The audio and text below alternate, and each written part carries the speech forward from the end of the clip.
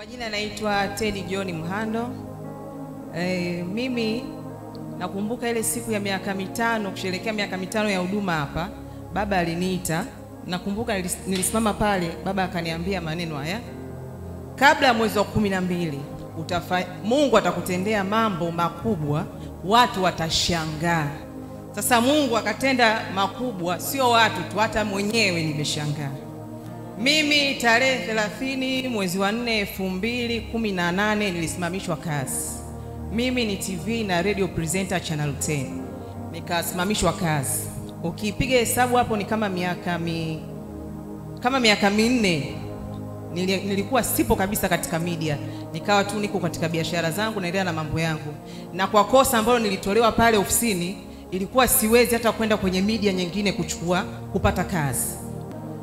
Ashukuriwe Mungu, ile tarehe 30 mwezi wa saba baba alivyoniambia yale maneno pale, mwezi wa nane haukuisha, nilipigiwa simu na mkurugenzi kabisa, akaniambia Tedi, unatakiwa urudi ofisini. Yaani kwanza mwenyewe nilishangaa Ah, nikasema au labda ni siamini, lakini nikasema ule ule utabiri alionitabiria baba.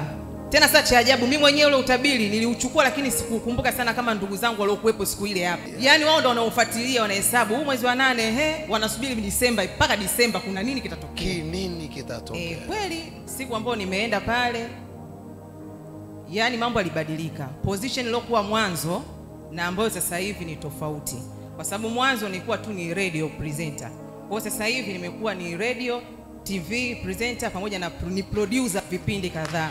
Basi ni kweli ile siku ambayo nimeenda kuripoti pale, nikapewa nafasi ya upendeleo, nikaitwa, nikaambiwa wakati mnaondoka mlikuwa kama watu wanne watano, wewe pendekeza katika pale wapi unataka warudi. Nani unataka umrudishe? Nikasema ule upako na Wa- kibali ambacho liniombea baba pale, nikasema naomba wote turudi, kwa sababu tulikuwa ni timu moja, tunafanya kazi moja. Kwa kupitia tena ule upako ule ule baba na wale wakarudi. Amen. Amen. Baada ya mimi kurudi tu kwenye kipindi, kurudi tu online, nikaendelea na, na, na, na program zangu, na mkurugenzi akipendekeza vipindi ambavyo unafanya mimi viwe live, yaani kama kikiruka kwenye radio na TV na kuwa live, channel 10 plus na channel 10 hii ya kawaida.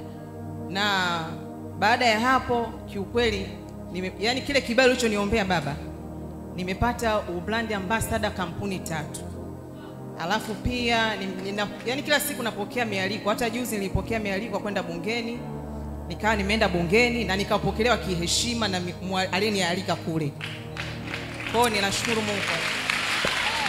Hapa mimi nilipafahamu, Mungu ni wa ajabu sana.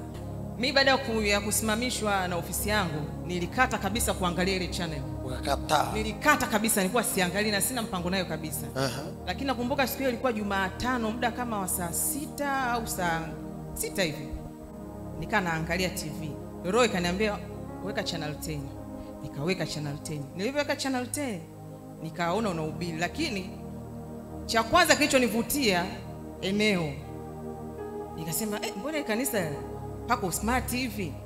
Kwa sasa kati nafuatilia usmart wa hapa na neno likawa linani ingia e, lakini baadaye nikaanza kusikia unavyo unavyohubiri kwa kweli ilinigusa mm. una ulivyoomba pale nikasikia kabisa kitu tofauti. Sasa nikaa nasikiliza location, nikasikia location Goba Center, nikasema sasa Goba Center na kwangu si ni hapa natembea tu mm. Basi kweli ile ile Jumatano nikaja, yaani siku nilokanyaga hapa na niliv, yani sikuwahi, yani kuna vitu vimebadilika kwa ujumla mm. e, mpaka leo Shangilia Yesu kwa makofi.